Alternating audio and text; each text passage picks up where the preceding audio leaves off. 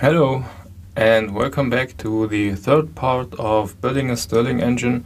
On the last time I've made the brake system so you can adjust the speed of the flywheel and uh, the flywheel also runs with almost no friction and uh, yeah the front section of the engine is now finished and now we're moving to the left side which is the hot side of the engine. Um, a Stirling engine has a hot and a cold side so um, yeah, all the parts you see on the table are for the hot side, and this part is the cylinder. Uh, a glass tube will slide from behind, and in there uh, will be a, a, displacer piston which pushes the air from one side to the other. And that's the principle of a Stirling engine. And unfortunately, I've made some mistakes um, with this part. So if you remember this clip, I had to make the holes bigger that's because these holes are too big for the screws I intend to use. So I have to use the next bigger screws and that's why I have to make all the holes a bit bigger and also the hole in the middle is too small. Um, yeah, I've made a bit of mistakes on this, uh, not only this part but in general with this Stirling engine um, because it was more like a prototype and I've learned a lot of things and I hope there will be a part 2 or not part 2 a second version of this engine which will look similar but without all the mistakes. And um, yeah I hope you enjoyed this video. And if you have any questions leave them below. I'm happy to answer them. And um, yeah please enjoy this video. And I stop talking now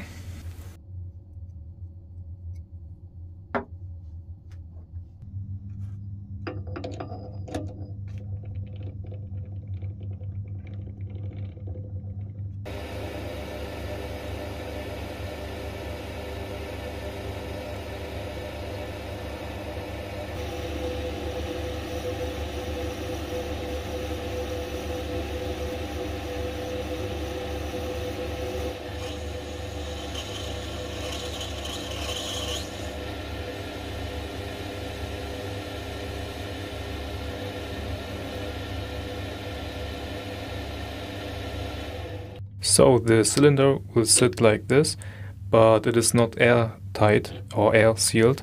And with this tool, I'm just cutting a groove. So there's a silicone seal which uh, holds the engine airtight because it is very important that the Stirling engine um, is air sealed and uh, no air can escape because otherwise it will not run.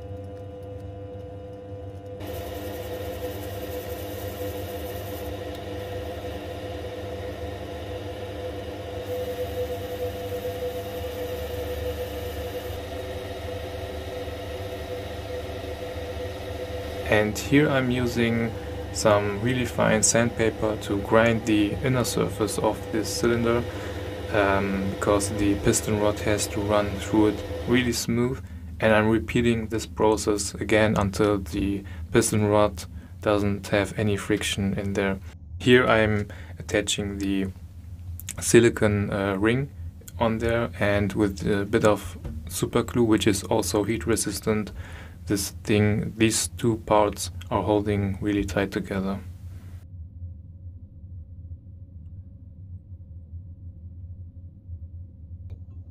Here I'm just checking if everything went as planned, uh, if there's no gaps in between, and uh, if the threads are good enough, and uh, it looks all very good and promising.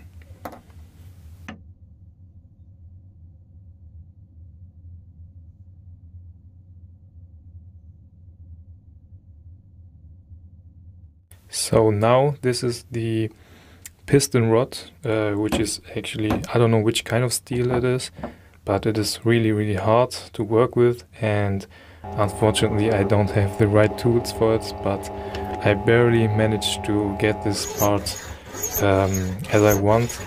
Unfortunately, um, the tiny holes on the side are not centered, but it's okay. I mean, this is where the um, connecting rod will hold in place by a little pin.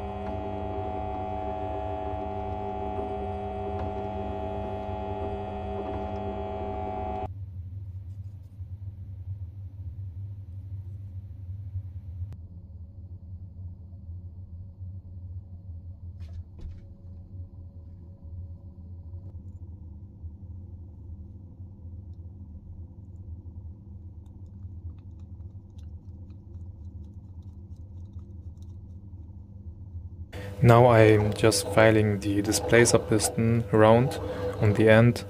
Uh, there are a lot of tools for this job, but I don't have them, so I just do it old school by hand and it works really well, but it just takes a bit of time to get to the end result. But at the end it looks very good.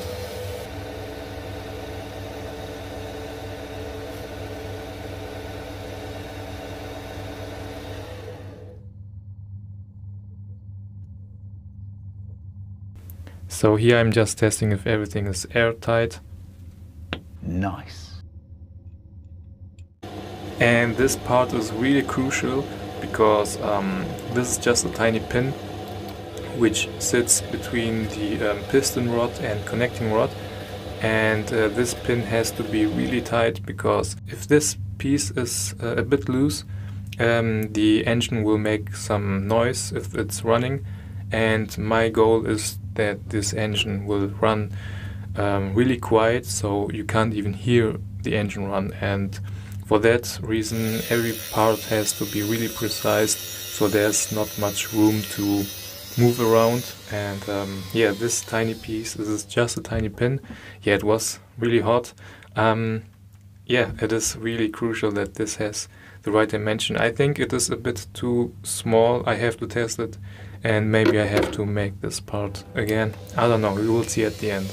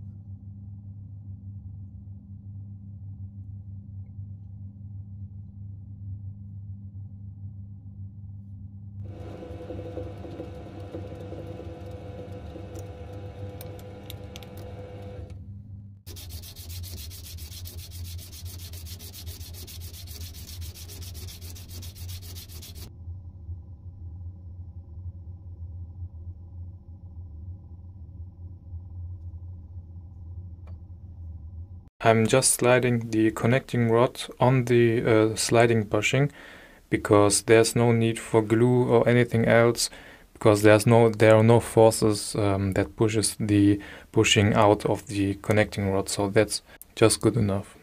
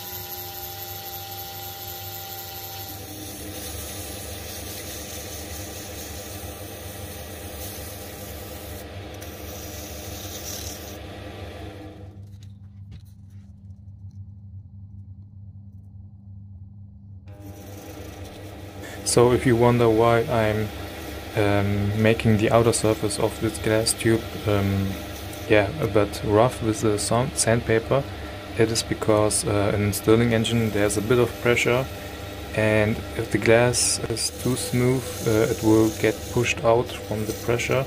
So that's why I'm just using a bit of sandpaper to get the outer surface a bit rough and um, therefore it can hold better in place. And at the end, you won't even see the roughed surface because it is in the um, cylinder.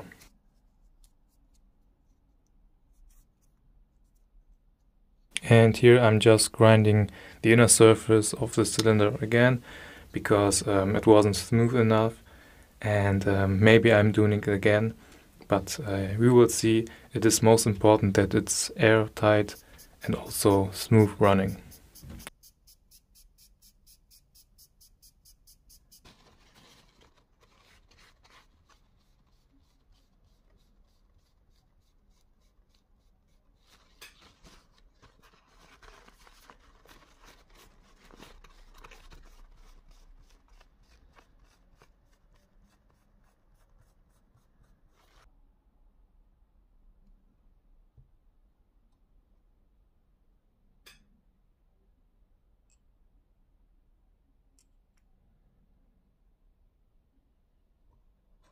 So here I'm just pushing the um, piston in the cylinder and by holding my finger on the tip I can see if this um, yeah cylinder is airtight or not.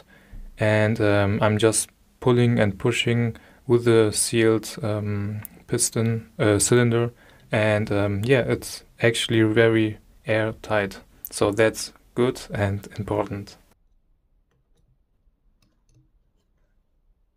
Now you can see all the parts coming together and at the end it's actually working and it is just fascinating to see that some pieces of metal and glass uh, can make an engine which is running just by heat.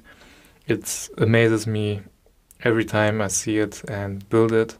So I enjoy it very much and I hope you enjoyed as well watching it and um, yeah, if you have any questions, leave them below, and I will see you on the next part. Bye.